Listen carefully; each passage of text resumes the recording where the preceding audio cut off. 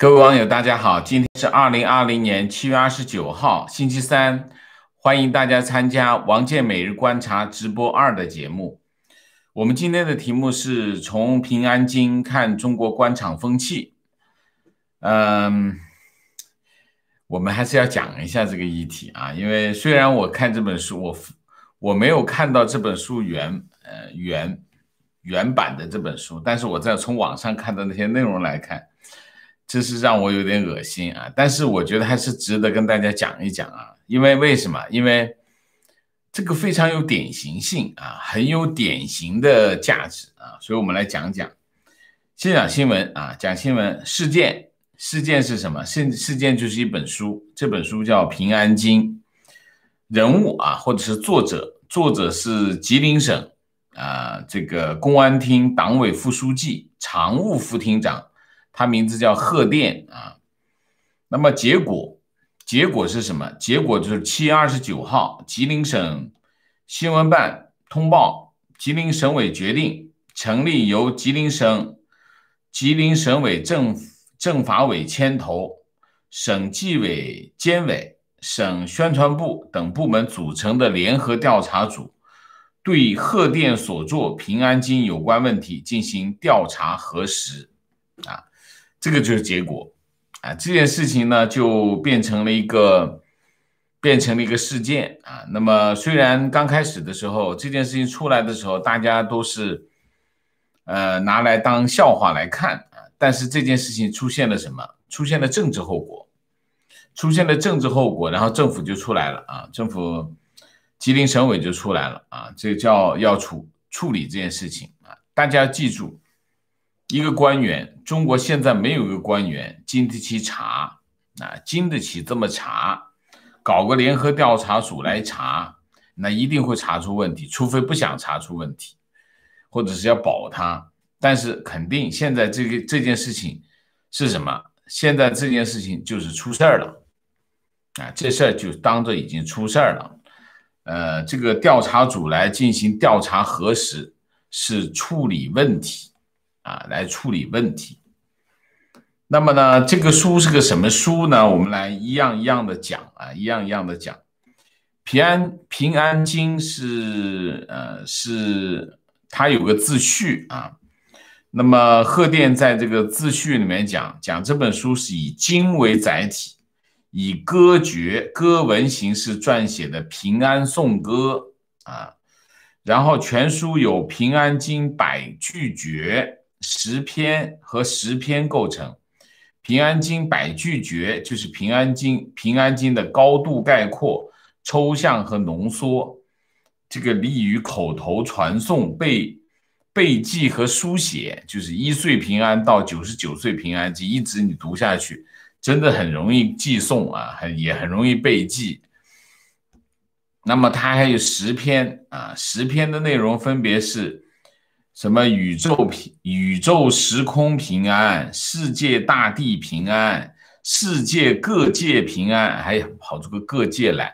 这中共党员还还还有个各界啊，人类文明平安，国家地区平安，中华大地平安，中国各界平安啊，中华文明平安，中国各地平安，人类众生平安。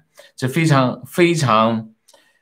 非常怎么说呢？是呃，非常的好笑啊！我觉得是非常好笑啊。那么这本书其实为什么会引起关注啊，或者是引起大家的吐槽？其中我觉得最主要的原因是什么？最主要的原因是官媒和政府啊，政府的这个官方的这个肉麻吹捧，是让这本书被关注的原因啊。其实这个世界上有无数的烂书，你去书店啊，你看看一下，大概有一半的书都是烂书，但是一点都不妨碍这这些书的出版，所以这个这个世界出版烂书并没有过错啊，没有过错，但过错是什么？过错的是大家看一下啊，这个媒体是怎么样没有底线的吹捧啊，是不是？那五月八号，吉林吉林网吉林网是吉林的吉林省的官网啊，官方微信公众号啊，发表署名为张勇的一篇文章，叫《拜读出出自当代作者的首部经书《平安经》的文章，然后就疯就是疯狂的吹捧啊，作者贺电博学多识，拥有警察和专家双重身份等等等等啊，这是吉林网。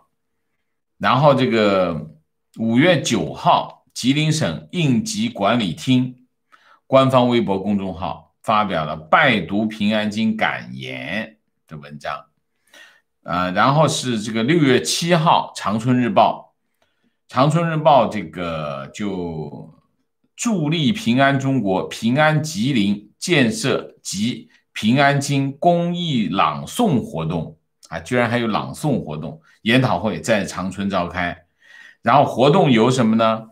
吉林省政法委、省委宣传部、省文联、省团委、长春日报等社共同主办，主办这份书，这这个平安经啊，这份烂书。然后吉林省朗诵艺术协会啊，听过这种协会吗？承办啊，然后这是，然后有当天有十几位。省市文化界人士出席，那把我恶心坏了。这个，然后呃，朗读呃，撰写啊，就共同创作原创诗诗歌，撰写《平安经》读后感，然后共同朗诵啊，朗诵那个，然后而且在网络平台和长春广播电视台。等媒体进行展播啊，这个这是一个，然后是这个吉林日报也报道啊，报道了这场活动啊，南方都市报报道啊，然后就是吉林省警察学院公众号二零一七年九月十一号发布发布的署名朱林的意趣高古、约而写真贺电先生的书法作品，然后提到啊。贺电的书法啊，贺电的各种各样的书法，构思一幅巨作《万方平安》啊等等。好，这就是为什么会公众关注这这本书的原因，是因为你可以看到这个媒体啊，当然中国只有官方媒体，中国的官方媒体，还有就是中国官方的机构啊，在为这本书。呃，没有底线的在吹捧他啊，吹捧这本书。这本书只的确是非常的搞笑啊。然后这本书的出版是个什么情况呢？它是二零一九年十二月份出版，定价是二九九，非常贵啊。在中国二九九的这种书，那那是非常的贵。它的出版社是人民出版社，人民出版社和群众出版社联合出版发行。很奇怪，我就没见过有一个联合出版的这种这种模式。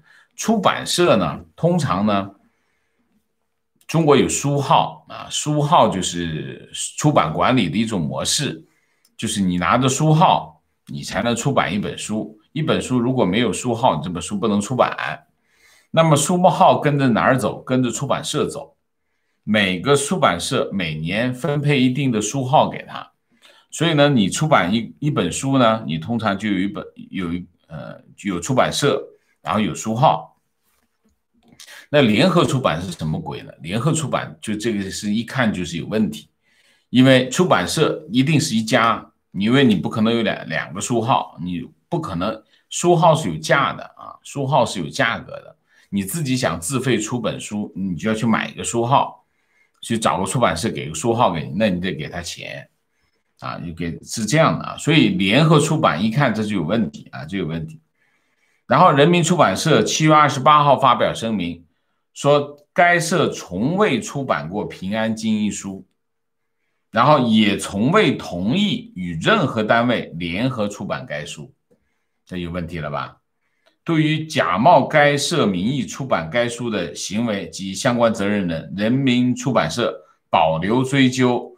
相关法律责任的权利，那你想一下，这是个公安厅的副厅长，他出的那本书，是有问题的。为什么？因为这本书呢，人民出版社说他没出版这本书，可是这本书的出出版商是人民出版社和群众出版社联合出版，这肯定是有问题啊！中间这是一个，你看一个厅长，公安厅的厅长啊，然后呢，群众出版社呢，它的官方网站介绍介绍什么呢？这个出版社呢？是属于公安部的国家级出版社，啊，看到了吧？知道为什么会是群众出版社了吧？啊，因为他是公安厅的一个副厅长，啊，就找到了呃系统内的一个出版社。这个出版社呢，前身是什么呢？是中共地下党在北平为了开展工作，呃，秘密设立的一个书店，叫群众书店。然后，一九五六年九月，根据公安部文化建设的需要，改建成为群众出版社，是一个这么个东西啊。所以 你看这本书啊，出版本身是有问题的啊，这是有问题。好，我们讲讲贺电啊，这个贺电。贺厅长，贺厅长是什么情况呢？一九六四年四月出生，呃，一九六三年四月出生，属兔的啊，出生于吉林梨树啊，本地人啊。那么他是博士研究生学历，法学博士学位啊，他是法学博士啊，没说他是哪个学校的啊，二级教授啊，博士研究生导师，一级警监。他有十六个组长和专家的头衔，啊，那么什么？呃，我大概的说一下啊，不全部读完。公安部智库专家，享受国务院特殊津贴的专家，吉林省优势特色学科公安学学科带头人，还有个公安学啊。这个荣获荣获吉林省首届十大杰出中青年书法家，呃，这个吉林省有突出贡献中青年专业技术人才，吉林省拔尖创新人才啊，拔尖创新人才，他还是全国公安书法书法家协会副主席，中国法学理事啊，然后是吉林省法学。法学会副会长，然后吉林这里后面是一溜的，吉林省学术委员会副主任，吉林省平衡法研究会会长，警察协会的副会长，理法理学研究会的理副会长等等啊，就很多了，啊，就是这么多头衔。他履历啊，讲讲他履历啊，那履历，呃，吉林省委组织部助理调研员，正级。正处级秘书，公安厅交管局副局长，然后是通化市公安局副局长，然后是省公安厅经侦总队总队长，然后就一步步升上来，后来就是吉吉林省公安厅副厅长，吉林警察学院党委书记。他为什么警察学院会发他的东西啊？然后最后，二零一九年，去年十一月十一号任吉林省公安厅党委副书记、常务副厅长，啊，这是个实权派，有权力的人啊，有权力的人。然后他有一堆的一堆的成就啊，发表论文五十篇啊，然后就有著作啊，有著作出版著作三十部，所以《平安京》不是他第一本著作哦。他之前有三十部著作，他还是个书法家啊，书法家，字雨辰，号吉人啊。那么他是二零一九年十一月二十九号当选全国公安书法协会的主席啊。贺电最后一次露面是什么时候？是七月十五号，吉林省副省长、公安厅厅长刘金波主持召开公安厅党委扩大会议。内容是扫黑除恶专项斗争，啊，这是这是整个的过程。然后就是七月二十九号下午，然后就吉林省新闻办通报，省委决定成立调查组，啊，那对贺电这个平安京有关的问题进行调查核实啊。那么整个的事实我大概的跟大家描述了一下啊，那欢迎大家这个如果 受不了就可以先吐一下啊，先吐一下。呃，平安京作为一个无比荒唐可笑的一本书啊，它其实反映了什么呢？反映了中国的政治现实、社会现实、文化氛围和学术环境啊，反映了就是他其实我为什么今天要讲这个题目的原因，是因为他的真的很很能够很能够反映中国的现实啊，中国的现实就是这样子，真的就是这样。这么一个，你看这个贺电，你一看这个样子你就知道，你看他写出来的书，你知道，这是一个胸无点墨、不学无术的人，他是一个胸无点墨、不学无术的人。你看他那本书的内容，你知道，一岁平安，二岁平安，一直到九十九岁平安，什么什么什么什么火车站平安，就就这么这么写出来的一本书，基本这样的东东西啊。那么这样的书能够就是。他居然这这本这本书，就是说，我说这个世界上烂书一点都不缺啊，烂书一点都不缺。但是有一个人可以把一本这样的书拿来出版，你想他得厚颜无耻到什么地步？他不仅仅不以为耻，他觉得这是一件很光荣的事情。这就是中国的现实，这才是中国的现实，就是大家已经完全已经失去了什么？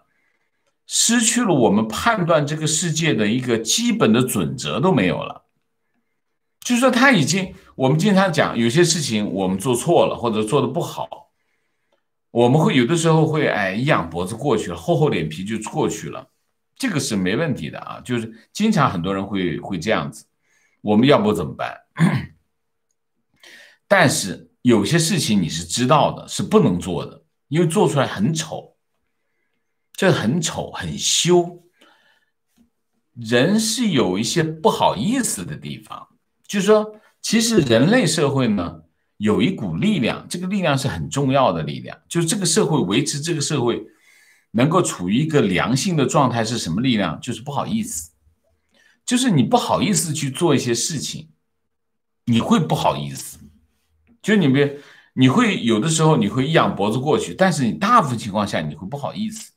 特别是那些那个走到某个极端的情况下，那你真的不好意思。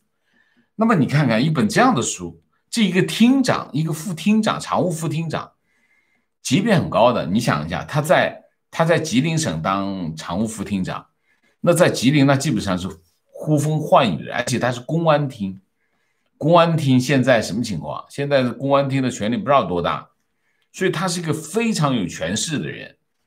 可是一个这样的人。他会去出一本这样的书，他完全就觉得没有问题，完全觉得没有不好意思。所以中国社会出了问题，是问题在哪里？问题就在这个地方，就是已经失去了这个社会已经失去了什么？没有底线了，就是已经失去了，就大家都不觉得不以为耻，反以为荣，就这样的问题啊。那我们现在讲。在这个在这个事件当中啊，你可以看这个贺电，一看你看这本书，你知道，这这这这是一个不学无术的人，胸无点墨。然后他居然还是一个博士，他不仅仅是个博士，他还是个博士，这个博士研究生的导师，这相当相当奇怪吧？其实，其实我们经常讲中在中国这个学历呀。学历通胀就是学历，嗯，学历的 inflation，学历通胀很厉害。就你看的这些当官的一个个都是博士学、博士、硕士啊，各种各样的名头全部都有，标配。但是你你跟他一一交往，你就知道这是个这是个饭桶。但是全部都有博士学位或者是硕士学位，他比我们的学学历都高啊？为什么？权利，只要他有权利，这些学位都是为他们可以准备好，就是这样的问题啊。所以你你在这这件事情当中，当中你可以非常典型，就贺电其实是一个中国官场上一个非常典型的一个这样的人物，就是不学无术，但是他又是博士，甚至是个教授，然后二级教授，然后他有各种各样的头衔，而且你可以看到中国的这种这种头衔已经荒谬到了什么地步，就是就是这样子。你看你在你在中国，你跟别人交换名片，你你经常可以看到有些人的名片是折过来的。我们名片就一张纸，对吧？它不它不是一张纸，它是一张纸折过来，因为那张纸很大，所以它要折过来。为什么很大？就是各种头衔，哎，各种头衔，各种头衔是什么？就他的社会地位、拥有的资源和他的关系啊。那么在这件事情当中，这几个基本事实啊，我们先说一下。第一个基本事实，这就是一本奇书，或者是烂书，或者是奇烂的书，或者是烂的出奇的书，这是第一个。第二个，作者是一个。有权有势的公安厅的副厅长，这第二个，第三个，这本书的出版是有问题的，就是出版社不认账，就是出版社不认他出过这本书，那说明什么？是这是一本盗版书，或者是非法出版物，就是我们讲，呃，盗版书不对啊，应该是叫非法出版物，为什么？因为出版社都不认账，那你想一下，这是个合法出版的书吗？一定不是，一定是假冒了别人出版社的书。所以你想一下，一个一个公安厅的厅长出了一本非法出版物，就这个地位啊，这第二个，第这是第四个啊，第五个，当地媒体、当地的官方机构集体吹捧，而且他还调动了什么？从政法委一直下来，到宣传部一直下来，搞个活动来推广这本书，那他动动用了什么？动用了他的权力，啊，利用他的权力产生的影响力，让这件事情发生了。这就是，这就是我们我们看到这件事情的基本事实啊。那么这件事情反映了什么？从第一点反映了现在的政治现实。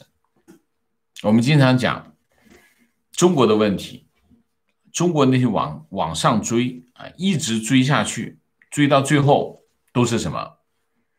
呃，你当你发现问题的时候，往往后面追，一直追下去，追到后面全部都是权力，就是权力，就是只要你发现了问题，你往这是一直往往往这个问题的源头追，追到后面全是权力，那么。政治现实是什么？政治现实就是什么叫政治啊？我们先说什么叫政治。政治就是资源分配模式，就叫政治。简单的说，就是切蛋糕怎么切，谁来切，切的规则是什么，怎么分配这些蛋糕，这就是政治。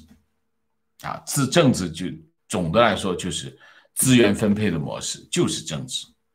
那么你如果一个公安厅的厅长啊，他附庸风风雅，不仅附庸风雅成了，而且把这件事情办的办的很完整，各方全部配合，核只有核心的那个最关键的地方，如果不是因为这本书奇烂，这事儿其实是办的很成功的。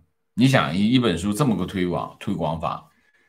那还不成功？如果现在的问题是最大的问题是这本书是烂书，奇烂的书，所以一个公安厅厅长在做一件这样的事情，原因是什么？原因源头就是权力，因为他有这个权力，这就是中国中国的政治现实。中国的政治权现实是什么？中共垄断了这个权力，独裁嘛，独裁不垄断权力。垄断了权力之后，然后呢，中共里面的内部人就利用这种权力垄断所有的社会资源，把所有的资源全部垄断在手里。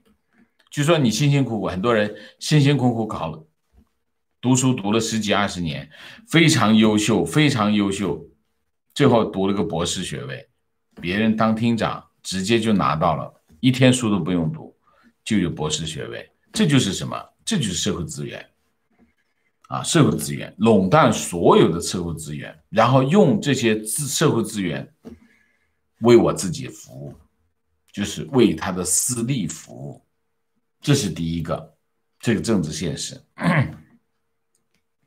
第二个就是社会现实，你看一下现在的官员都在干什么，都干搞什么鬼，都在搞什么鬼啊？第一个，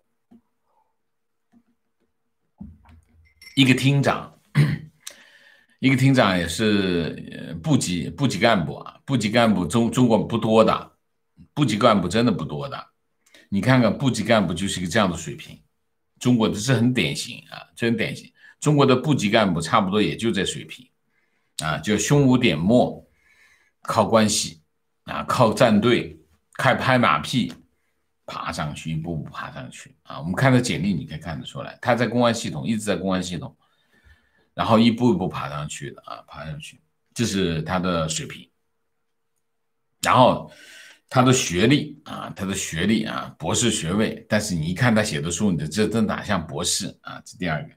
第三个，他关注些什么东西？你看看他关注些什么东西？他关注的点，他的视野，他的观察，他的重视的东西是什么？就是什么？就是一些这样的东西，就是那乌七八糟的东西啊。然后他的，他们，你看他们现在这些，从这些官媒到这些部门，政府部门。他们之间这的这这些操弄，赤裸裸，完全都没有遮盖，非常赤裸裸，就是这是个厅长，这些人捧他的场，啊，听他想要做什么，配合他来做，赤裸裸的，完全赤裸裸，没有任何的遮盖，这是什么？这反映什么？反映中国社会现实就是官本位嘛，就是。只有权力才能说话，其他都得闭嘴啊！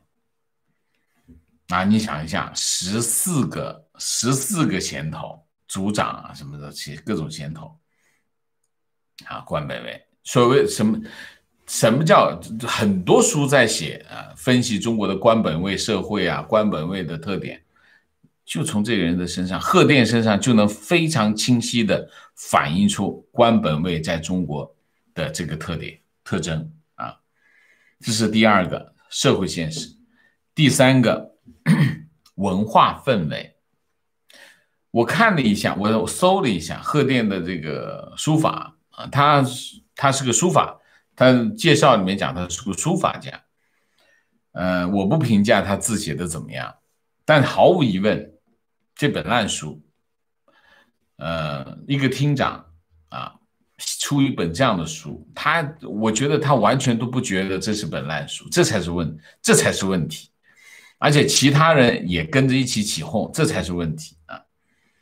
那么我不知道大家有没有看过呃这个网上书店啊，现在的网上书店，大家知道网上书店排的最前面都是谁的书吗？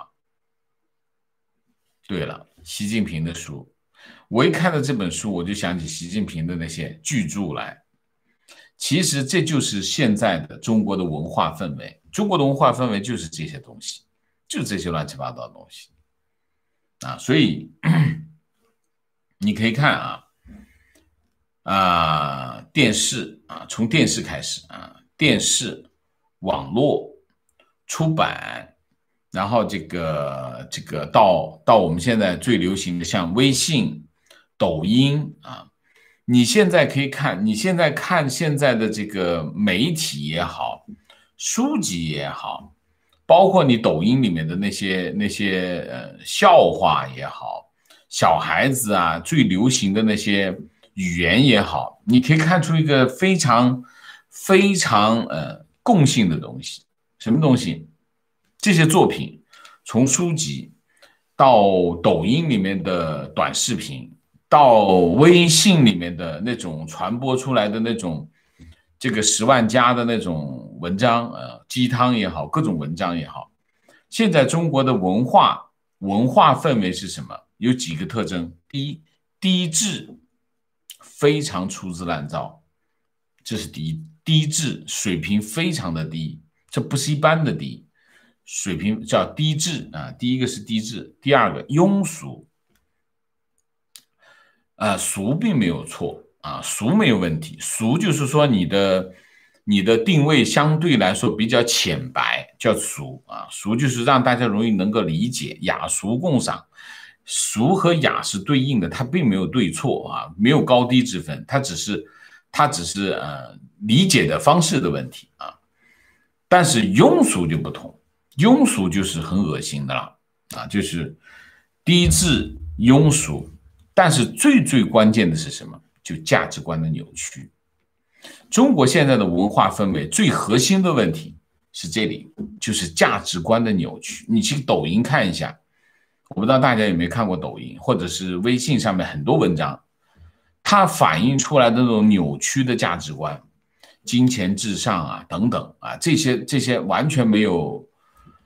就说你看这些看这些视频，时间看久了以后，脑子会变得残废啊！我认为是这样。还有一个什么，就是夜郎自大啊，就是我我讲的这种，就我就不知道他哪来的这么自信啊，真的是不知道哪来的自信，叫夜郎自大。就现在中国的这种文化氛围，就是一个这样的氛围啊。那第三个，我讲第三个，第四个，学术环境。学术环境为什么我要讲学术环境？因为出版嘛，啊，出版还是跟学术有关系嘛。那么现在的学术环境在中国啊，大家一讲学术环境就会想到两样东西，第一个就是创新啊，第二个就是文化产品。文化产品我不说，刚才已经讲过了，已经已经是很恶心了啊，还有就是创新。那么在中国，你可以看到现在从从上到下，一系列的叫什么？我我昨天看在推特上看到一个，看到一个广州的一个书店，有个人在广州书店打开一看，拿本书打开一看，哟，中间有很多东西给涂黑了，书新书被涂黑了，大概是什么意思？那个书店辛辛苦苦的把那些。敏感词给涂掉，你见过这样的事情吗？我没见过，第一次在抖，我在推特上看见。中国现在已经发展到，就是说各个图各个层级的图书馆过筛再过筛，过滤再过滤，拿那些就像不良书籍给它清掉啊。所谓的不良的书籍，就是不想让你看到的书，等等这一系列的过程当中是什么？这是什么？叫学术自由。思想自由都没有，当然还有精神独立啊，独立精神、独立的精神、独立的人格、独立的精神。如果这些全部都不具备，你怎么会创新呢？怎么创法呢？所以学术环境就我们就不用再谈。所以为什么我经常讲啊？为什么经常鼓励大家还是出国读大学，特别是本科啊？能够尽量的出国，还是尽量的出国？为什么？你想一下，如果你连学术自由都不存在，你怎么会有大学呢？我都是经常讲，中国的中国就一所大学，叫什么大学？中央党校，其他全是分校，全是分部，中央党校的分部，所以所学术环境就是一个这样的鬼啊。第五，结果，结果就出事了呗。其实这件事情最终的你看到的就是啊，吉林省委组织一个调查组去调查这件事情。其实这件事情就已经有，这就是结果。你别以为说我去派派调查组去调查啊，要查出个结果来，不是的。派调查组这件事情就是结果，就是说明什么？贺电出事儿。贺电为什么出事儿了？核电办了一件事情，这件事情其实在中国官场上这根本不算个事儿。为什么？用他的权利，他可以用权力干更恶心、更完蛋的事情都没事，无数的人都在干。只不过这件事情为什么会出事？因为他惹得大家都关注了，就是把这个事情，全国人民在关注这件事情。那为什么？从什么角度看？只从一个角度看，维稳角度。如果你从维稳的角度，贺电办了一件这个事情，这件事情办出来被大家都关注，大家都在热议，他就出事儿。这就是中国官场现在的问题。那么说明什么？说明两点。第一点，当局啊，我在说当局或者是中共觉得贺电把这事儿办恶心了，办的大家都恶心了，大家都恶心，这件事情谁来背？这件事中共在背，为什么？因为他中共的官，所以呢要处理他。处理他的原因是因为是这件事情，这就是出事儿了。什么叫出事儿了？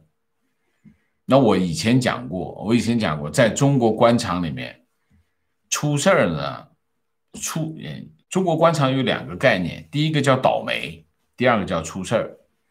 倒霉是什么？倒霉就是完蛋了。出事儿了什么？出事儿了就是导火索，就是在中国官场有个规则，什么规则呢？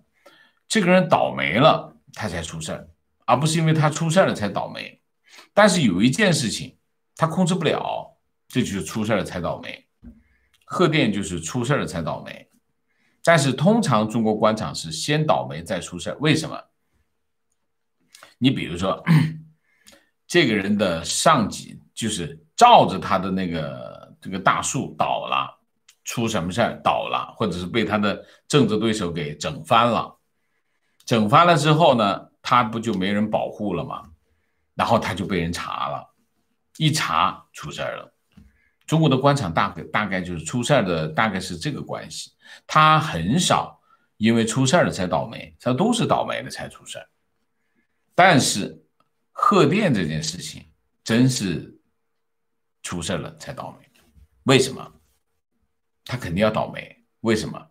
因为他做了一件他自己控制不了的事情，就是一下子，全全中国网友在议论这件事情，大家都在议论这件事情，控制不了了，舆论控制不了了，那他就嘛，他就倒霉了，他就出事了，出了事跟着就倒霉。为什么要维稳？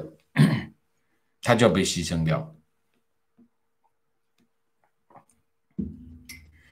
好吧，我们大体上把这件事情，呃，大体上说说啊，说说。因为我为什么要说这件事情？因为这个真的是，就是一本这样的书，其实是非常反映中国的政治现实和社会现实啊。所以我们今天总结一下，啊，中国的一个公安厅的副厅长出了一本奇烂的书，成为热议的对象。那么热议的这个结果导致。啊，中共觉得他坏的大家的事儿，所以开始调查他。没有一个中共官员经得起调查，所以他要倒霉。啊，这就是结论，好吧？好，我们今天的主题就到这里，我们下面就进入互动啊。进入互动之前，例行公事，请大家点赞，请新来的网友订阅，请大家加入我们的会员，支持我们做更好的节目。我们最近需要呃。我们再我再呼吁一下，如果有网友有兴趣帮助我们做字幕，参加我们的字幕组，请在视频的下方找一下我们的这个反馈邮邮箱啊，发个邮邮电给我们啊，来来参与我们的字幕组，好吧？OK，那么下面就进入互动啊，进入互动之后，立嗯啊，为了提高我们的沟通效率啊，那我们就尽量的不要聊天。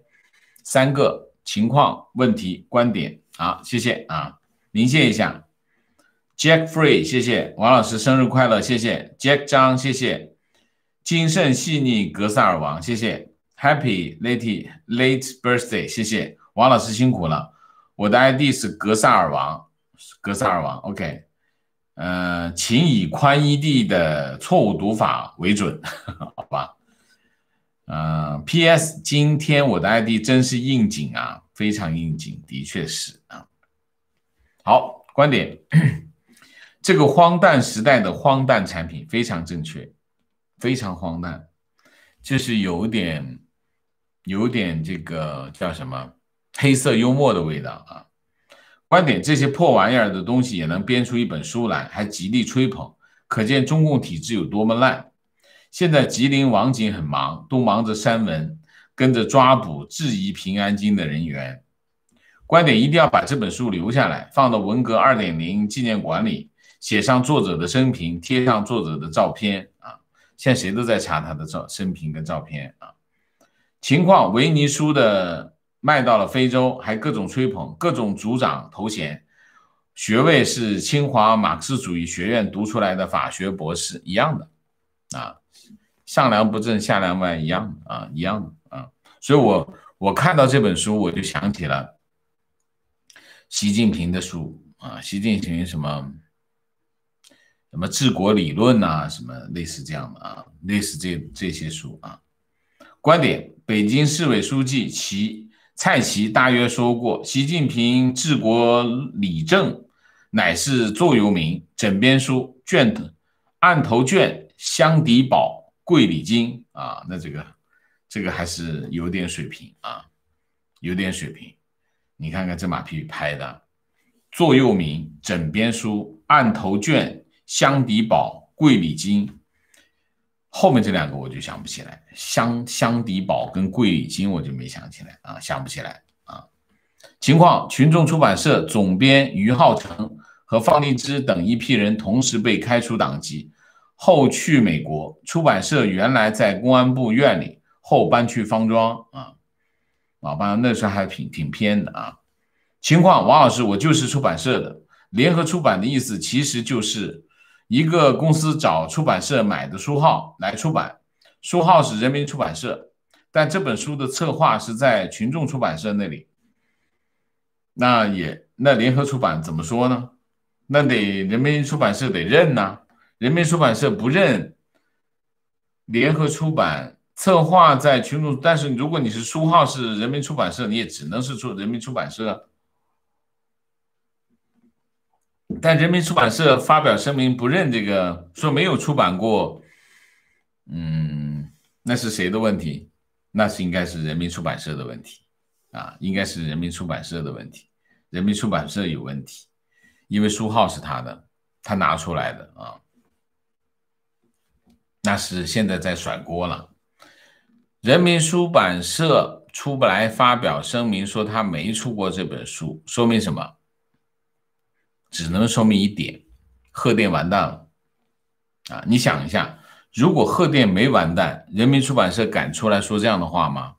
如果这位网友说的是真的话，书号是人民出版社，不管这本书怎么出，他都得认账，因为这这个书号是他给的。他卖出去，或者他卖出去也好，他给的也好，总之这个书号是人民出版社的书号，人民出版社的书号，谁的书号就是谁出版，这个没得不认啊。就是说，如果他贺电肯定手上握着人民出版社的这个书号，否则怎么出这本书？或者是群众出版社握着这个初号，否则这个书是出不了的。人民人民出版社跑出来讲，发表声明说我没有出这本书。说明什么？说明贺电根本就 已经完蛋了。他出来说这个话没问题，为什么？因为我怎么说他都反驳不了，因为他已经动不了了，只能是这样啊，应该是这样的情况啊。你说呢？这位网友再给我们回回馈一下情况。本人喜爱喜看书，现在的阅读体验太差，屏蔽词为了避免被删，作者故意用错别字比比皆是。比如叉叉不离十，叉叉不离十，八九不能写出来。比如，呃，比如中叉叉人，呃，看上下文才知道国军两个字是屏蔽词。呃，民主啊，牧田，呃，这种错别字比比皆是。你这是看哪儿的书？这是，这不是书吧？书里面会有这样的东西吗？观点：这些官员所谓的书法家名头，就是受贿的白手套。既然是书法家，就可以卖字，而且卖很值钱的字。想贿赂的，请他提个字，明目张胆的送钱。观点同意王老师，反映了政治现实。中医院士面对镜头侃侃而谈，认为中医能够起到安慰作用、隔离作用，这就是道路自信、文化自信开出的硕果，非常对。情况。《平安京》的作者，百度介绍说是享受国家特殊津贴的专家，还是二级博士导师，什么二级博士导师？我在海外是博导，没听过什么叫二级博士导师啊。他说二级教授，说是啊。观点：唯有习大大有资格写一本《中国人民平安经》，里面是十四亿中国人的名字加上平安，人手一本，定价九九九点九九元。此计可以创造 GDP 一万四千亿。情况：山东现在有女德夏夏令营，后清真的后清真的回来了。我相信不久国小脚及贞节牌坊就会回来。我看到女德班的发言，不到十秒钟我就想吐了。嗯，山东这些年真的出了很多幺蛾子啊。山东最近的最近的啊。最近的新闻就是并村啊，并村也真的是祸国殃民啊！为了钱，那啥事儿都干，什么伤天害理的事情都干。山东最最近这些年真的是，真的是幺蛾子太多了啊！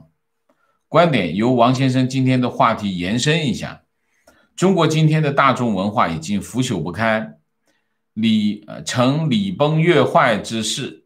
一是官方权力的审查，二是资本的强势介入，三是多媒体阅读时代人们保持的注意力的时间大大缩短，阅读书籍已经成为稀缺的习惯。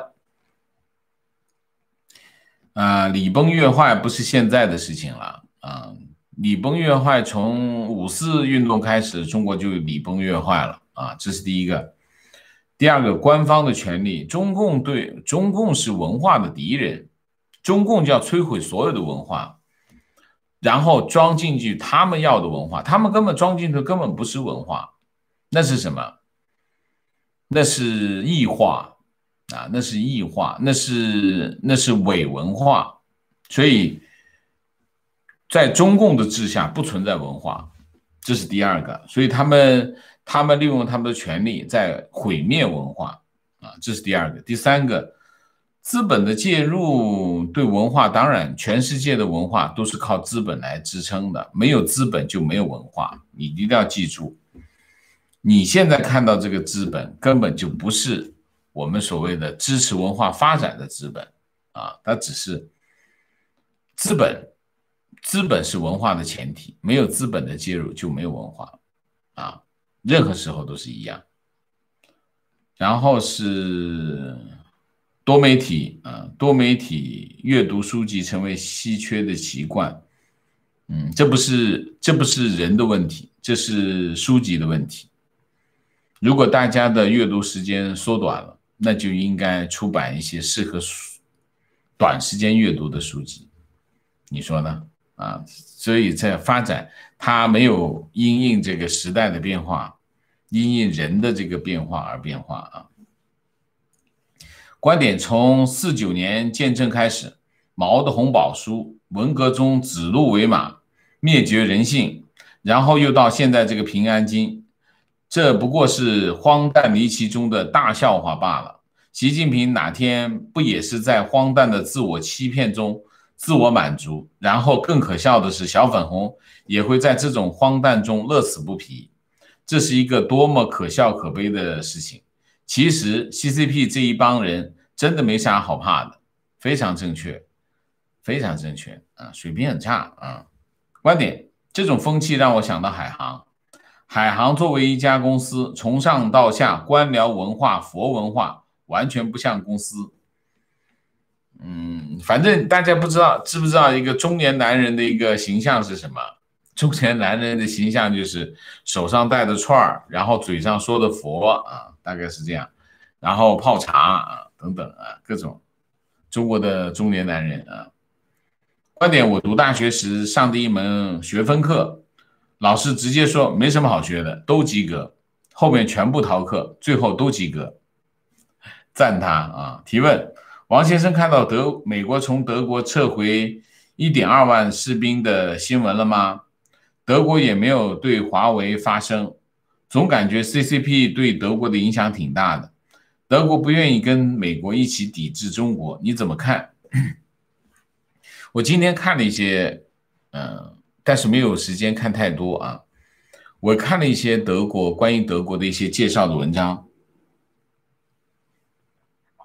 那么德国这呃最近一段时间吧，德国在香港议题也好，在中美中美这个中美之间的摩擦和矛盾冲突也好，德国的态度让很多人觉得，呃，德国亲中，甚至认为他们亲共啊，这是一个很多人的看法。我今天看的一些材料，其实它是他是做了一些解释的工作，就是说德国人的思思维模式跟，呃，他们有一些既定的思维模式和他们的这个政治的政治现实啊，他们基督教，呃，基民盟啊，基督教民主同盟啊，和他的一些政治盟友。他们之间，呃，在和中共的一些往来的过程当中，他们有不同的想法。比如说，他们认为，他们认为应该保持和中共的接触啊，这是他们的想法啊。我觉得有一定的道理啊，就是我让我了解更多的德国啊，德国他们的政治政客们和他们政坛的一些现状啊。那么。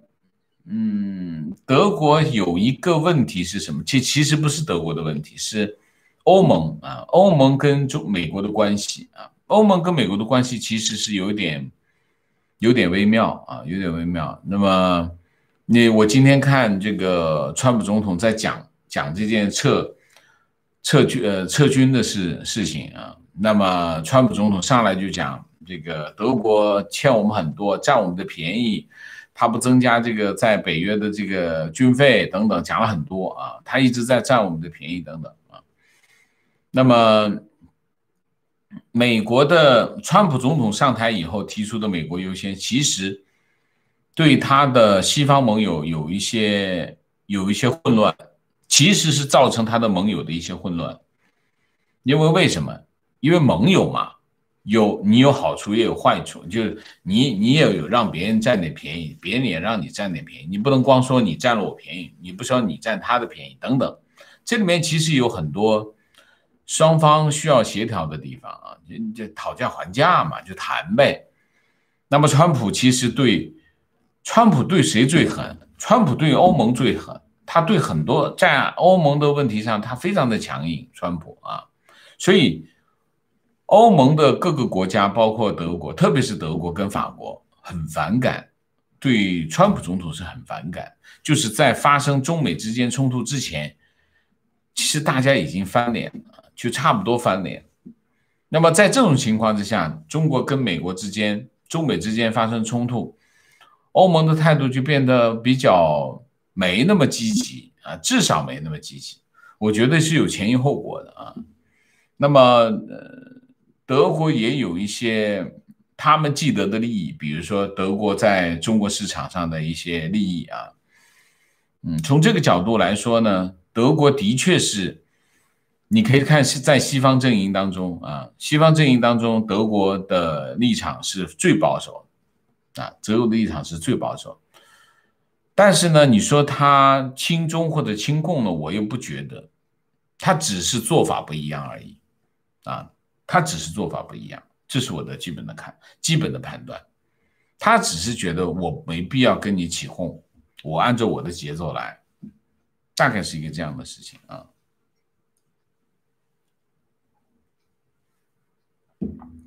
王老师你好，请问目前美国对华为的对华的制裁是否是其所希望？嗯，为什么希望？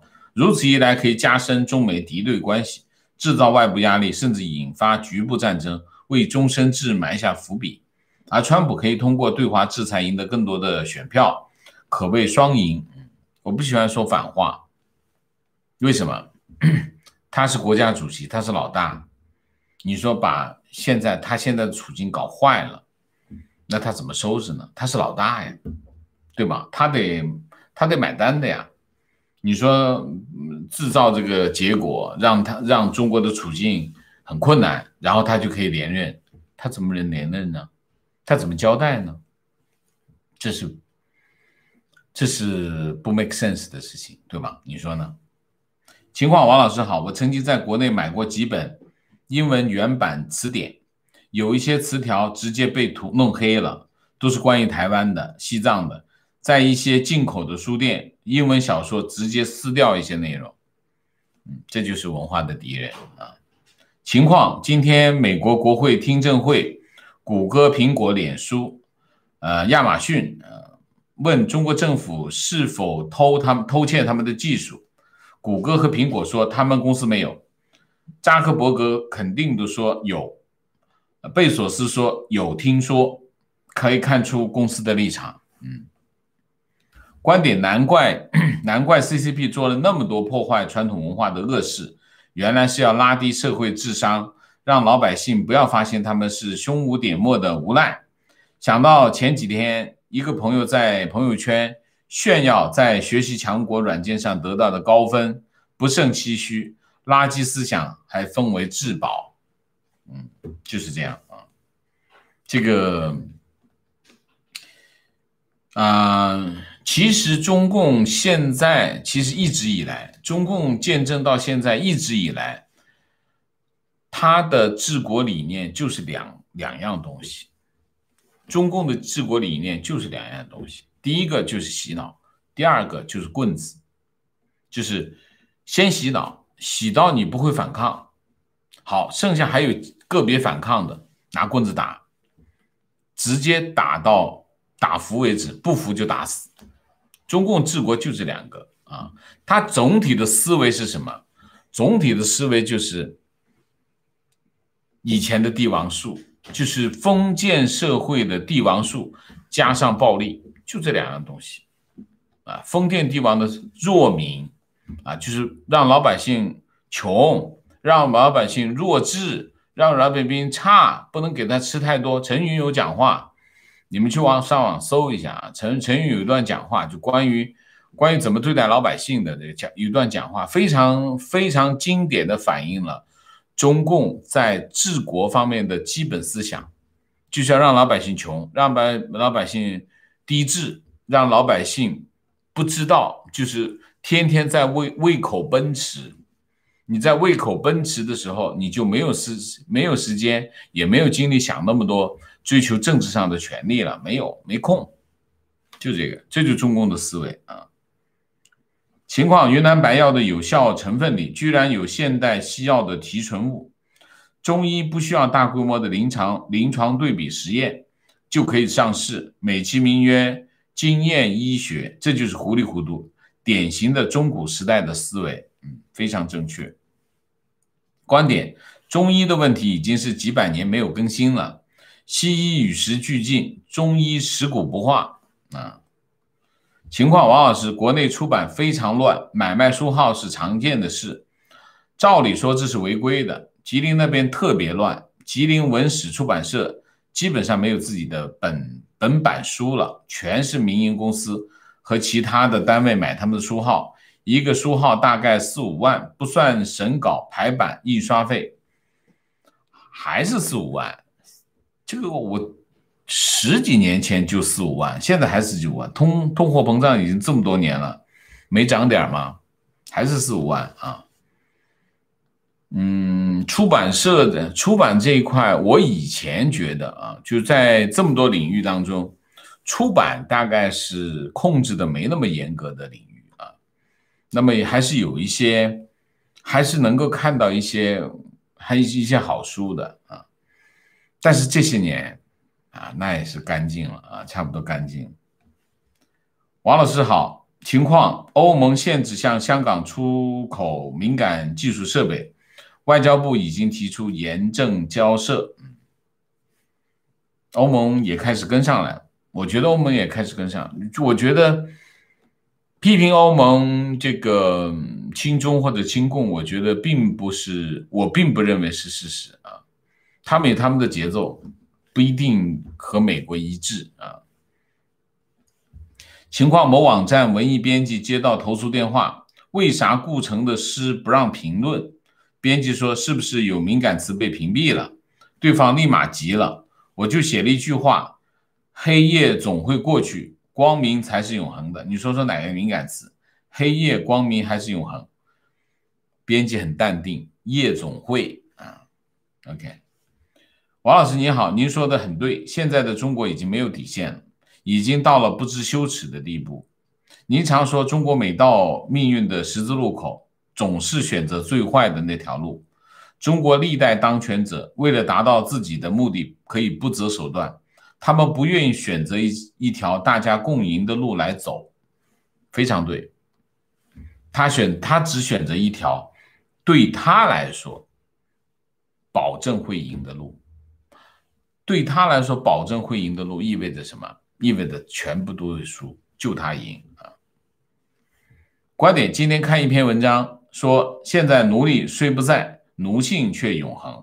奴性有四个基本特征：一，最初外在最初是外在外在强加的，但逐渐内化为自身的自觉意识；二，被动的，非自找的。三对自身没有益处，但意识到，但意识不到。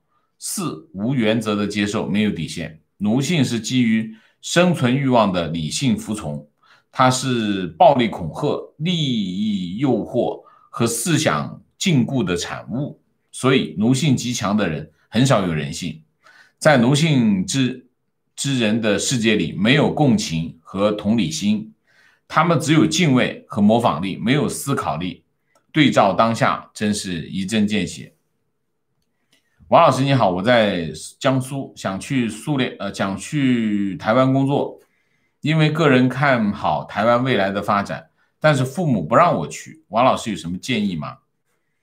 嗯，很简单啊，你就问你父母是不是养你一辈子啊？如果他们决定养你一辈子，你就听他的；如果他们不能养你一辈子，你就自己去呗。你这么大个人。难道还决定不了自己的未来吗？好不好啊？明谢一下啊！闪电二三三，谢谢，又赶上直播了，请王老师喝一杯小咖啡提提神，谢谢。那 Crane Crane，谢谢王老师说起大学，让我想起以前在国内的教授说，我们都是被阉割的，那是感觉感受不深。后来出国这些年有了对比，才深深理解到什么意思。我们整体文化环境的崩塌。坍塌与崩坏，想起来令人心凉。是的，Lady，谢谢王老师辛苦了。坚俊丁，谢谢。好，我们今天的节目就到这里，感谢大家的参与，我们下个节目再见。再见之前，请大家点赞，请新来的网友订阅，请大家加入我们的会员，支持我们做更好的节目，做更好的自己。谢谢大家，我们下个节目再见，谢谢。